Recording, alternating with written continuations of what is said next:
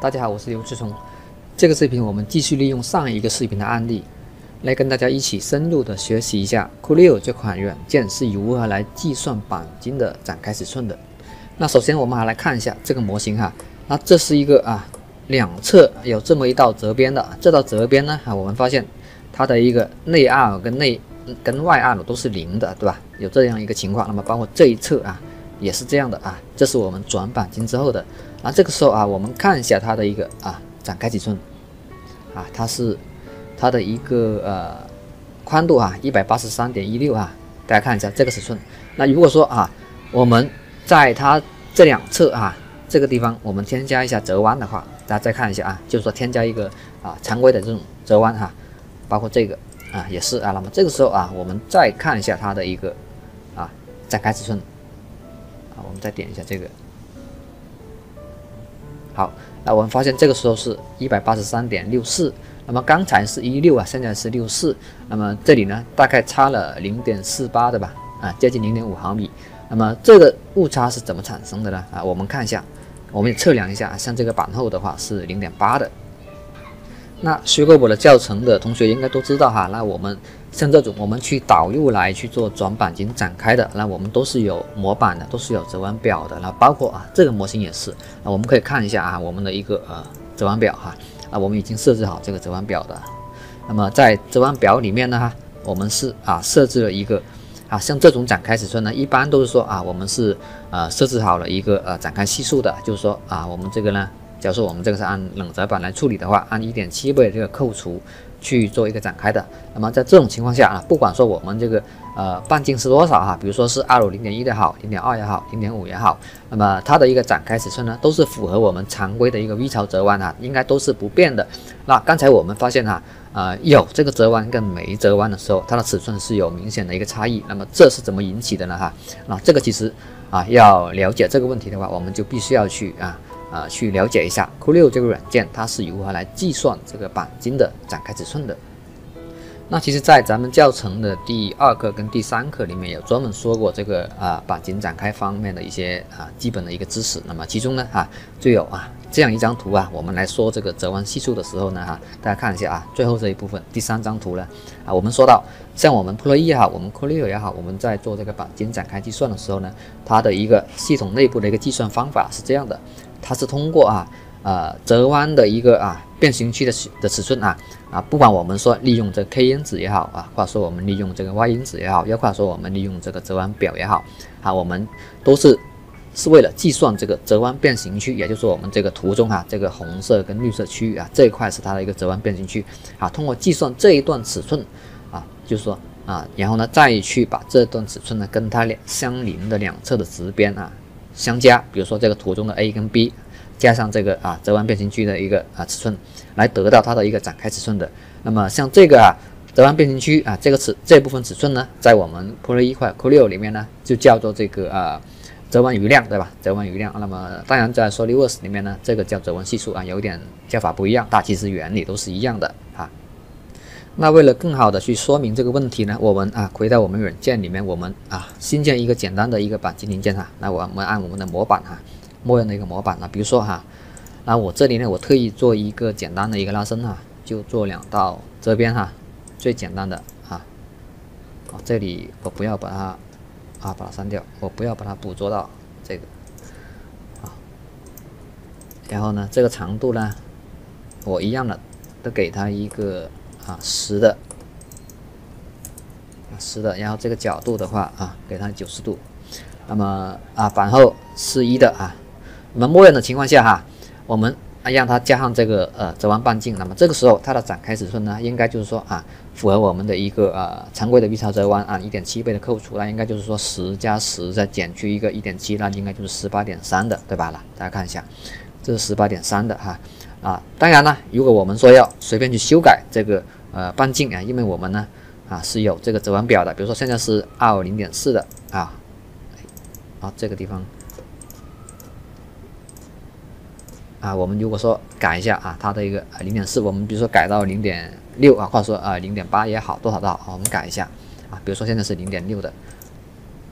好，那我们再重新的去看一下这个尺寸的哈，它依然是保持这个啊。保持这个十八点三十不变的啊。啊，这也是为了啊，我们设置这个折弯表啊，来去呃让它实现这样的一个效果的，就是为了解决啊，不管我们的一个啊模型它的内二轮呢是多少，对吧？只要说它是符合我们这个，就是说我们是利用这个 V 槽去做常规的这种 V 槽折弯的话，都能够保证它的一个展开尺寸是不变的啊。就说啊，呃，有时候呢，因为我们经常呢，我们客户给到我们的一个模型也好，我们三维也好。啊，可能不同的客户他们在设计的时候有不同的习惯啊，喜欢去用不同的一个折弯内二五，所以说我们特意去用这个折弯表来啊，达到一个目的。因为我们的加工模具是一般就是说啊是不变的，对吧？同一个厚度，比如说真的一点零的，我们啊用比较固定的模具去加加工的，那么这样子哈，啊我们就说。啊，它的展开尺寸肯定就是相对固定的一个值啊，我们就是说这样去设置我们那个折弯表啊，就是考虑到这样的一个因素的。那但是呢，在这个地方哈，刚才我们啊也说到，我们一开始这个模型啊啊，就是说这个折弯如果是没有的情况下啊，它跟我们的一个啊有二度的情况下是啊产生了这种啊不一样了，就是说不能再保证这个尺寸不变了啊，这个展开尺寸不变了。那这个是呃什么原因导致的啊？那么我们不妨在这个地方我们也来尝试一下哈，我们把这个。折弯啊，去掉啊，让它不加折弯。大家看一下，这个时候哈，啊，它依然是啊，这两段直边依然是十嘛，对吧？依然是十的长度还是十的。那么这个时候我们看一下它的一个展开尺寸，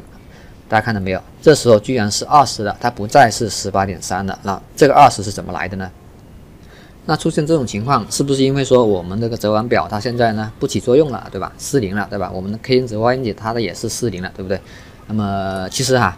这个也很好理解哈，那么我们刚才也说到了，我们的软件在计算这种啊钣金的一个展开的时候呢，它是通过直边长度相加，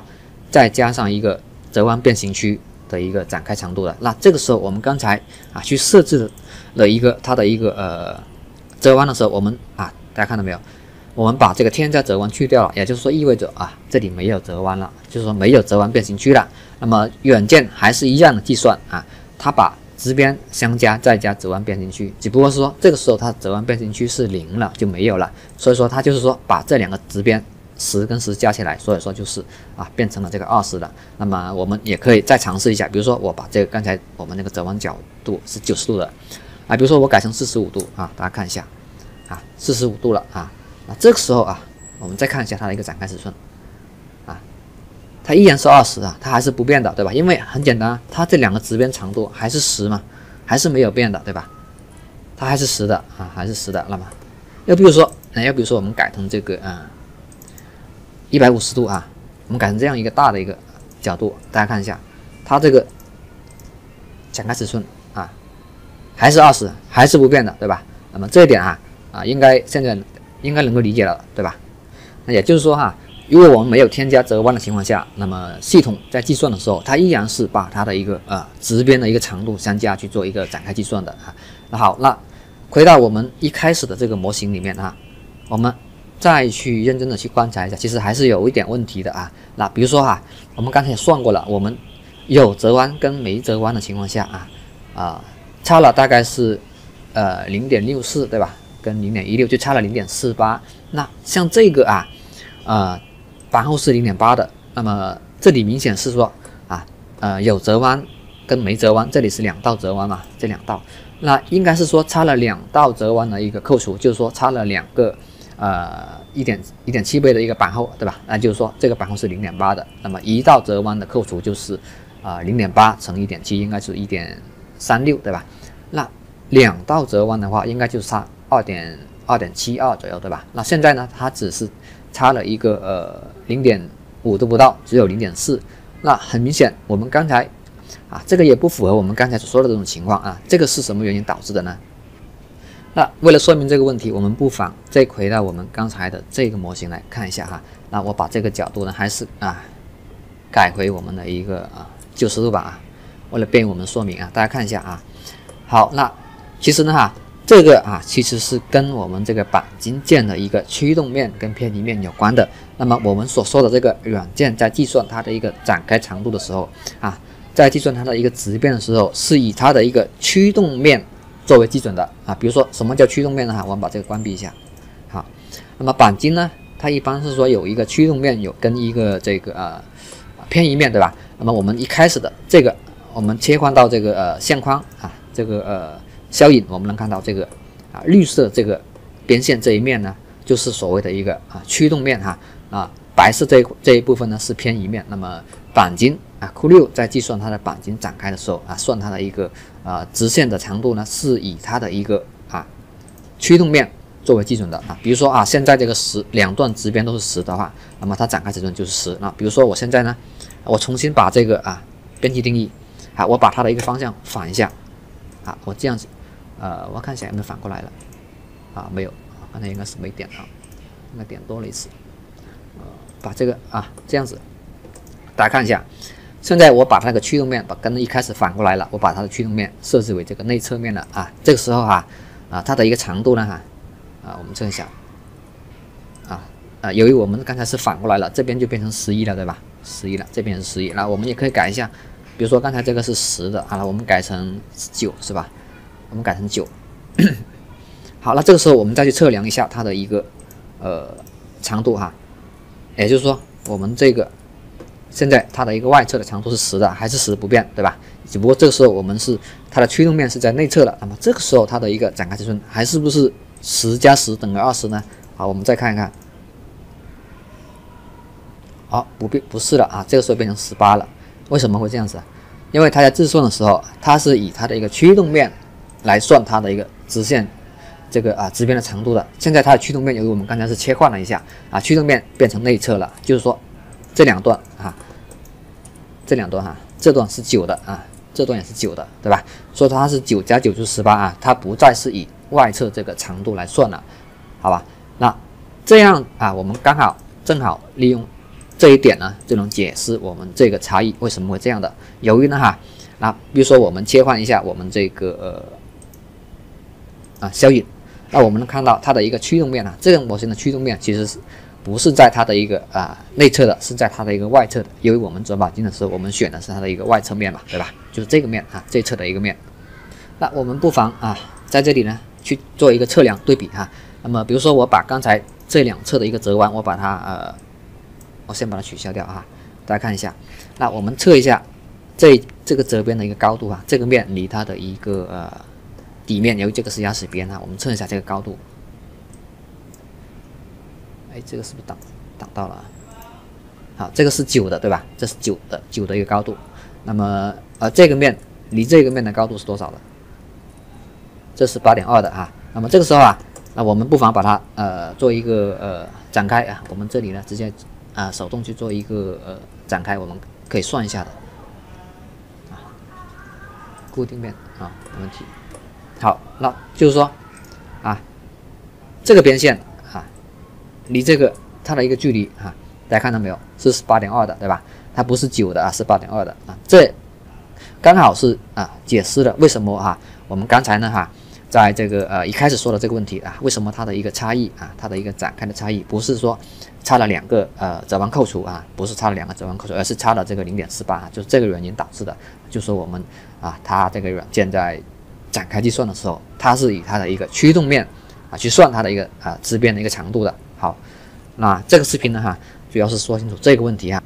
希望能对大家的一个工作带来一定的一个帮助哈。好，那喜欢这个视频，请留下您的点赞评。如果想要系统学习我的教程，也可以私信我，也可以进我的主页观看更多精彩的原创视频。好，谢谢大家。